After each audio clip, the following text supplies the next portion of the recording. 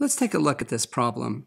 So there's a piano that's been pushed to the top of a ramp, and then it's going to roll back down the ramp. So clearly this is an object on a ramp problem. And we're told two things about the ramp. First off, we're told that the top of the ramp is one meter above the ground, and we're told that it's tipped at a 20 degree angle. What we're trying to compute is the time that it's going to take for the piano to roll from the top of the ramp to the bottom of the ramp. And it's rolling, we'll presume, on wheels, and so it's basically moving frictionlessly down the ramp. So this is an object on a ramp problem. And to set it up, let's do a couple things to prepare. First off, we'll do this. We're going to specify the ramp. Now we're told that the ramp top is one meter above the ground. So this distance here is 1.0 meters. We're also told that the ramp is at a 20 degree angle. What we really need to know is this length right here. How long is the ramp? This is the distance that the piano is going to roll. Well, we know some trig functions. We know the sine of 20 degrees is the opposite side of the triangle divided by the hypotenuse.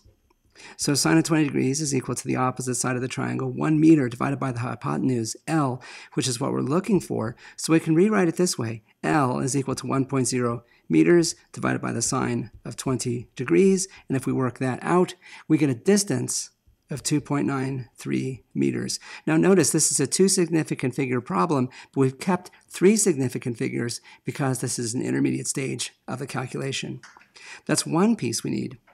Now the other thing we need to know is this. When the piano is on the ramp, there's an acceleration moving down the ramp. We know that that's true the, the, the piano is going to slide down.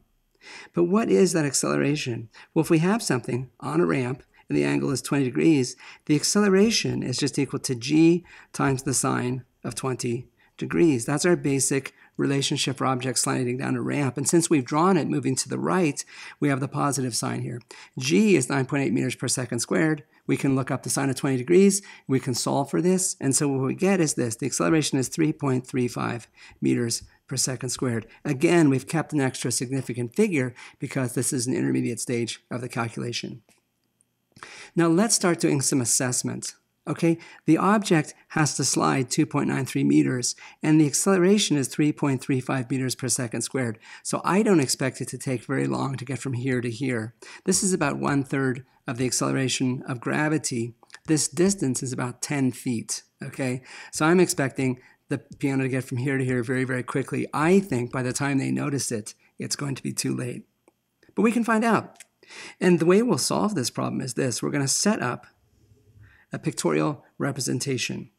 The piano starts here at the top of the ramp, it finishes at the bottom of the ramp. And what we want to know is what is the time interval how long does it take to get from its initial position to its final position? In between the top of the ramp and the bottom of the ramp, it's accelerating with an acceleration of 3.35 meters per second squared. The initial position I'm going to call zero meters. And I'm setting this up as the x-axis. The x-axis moves along the ramp, as we do in this sort of problem. So the initial position is zero meters. The final position is 2.93 meters. That's what we calculated right here. The initial speed is zero meters per second. And the final speed we don't know, and in of fact, we don't need to know. We're not interested in that particular piece of the puzzle. So we have a pictorial representation, we have the acceleration, we have the initial position, the initial speed, we have the final position. We're looking for time, and to do that, we use the basic relationship for one-dimensional motion that looks like this. The final position is equal to the initial position plus the initial velocity times the time interval plus 1 half times the acceleration times the time interval squared. Now take a look at this relationship because there's a bunch of pieces which simplify. The initial position is zero meters, and so this term goes out of the equation. The initial speed is zero meters per second, and so this term goes out of the equation. And so our relationship reduces to this. The final position is equal to 1 half times the acceleration times the time interval squared. This is great because what we're looking for is the time interval. We know the acceleration, we know the final position. The final position is 2.93 meters. The acceleration is 3.35 meters per second squared. And so we can solve for the time interval.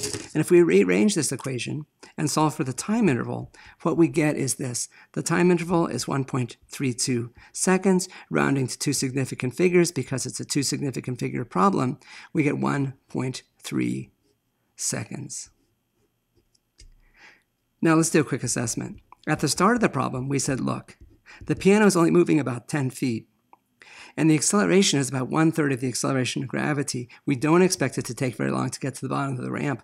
In fact, that's exactly what we find. And so our assessment is that the problem, in fact, matches our understanding of the way the world works.